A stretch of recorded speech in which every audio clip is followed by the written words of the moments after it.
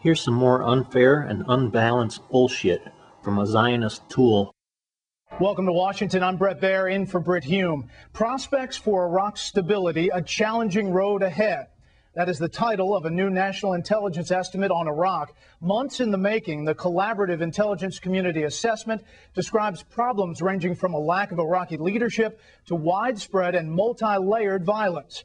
Correspondent Catherine Herridge examines what's in the report and what it means for a president trying to turn the situation around. According to the NIE, the National Intelligence Estimate, the term civil war does not apply in Iraq because the violence is more widespread and more complex than simply the Sunni and Shia conflict.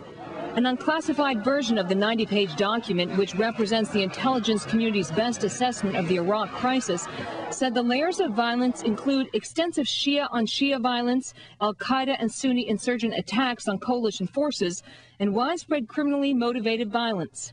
In a briefing at the White House, the National Security Advisor argued it was best to focus on strategy.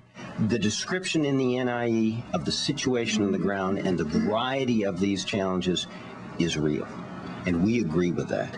The issue of the level, the issue of the label is one we're going to go back and forth on. What the president's job is, in view of that situation on the ground, to develop a policy and a strategy that has the prospect of success. That's what the policy challenge, challenge is, and that's what we think we've done. The situation in Iraq is so volatile, especially in Baghdad, where car bombs are a daily occurrence, that the NIE only covers the next 12 to 18 months, a shorter period than previous estimates.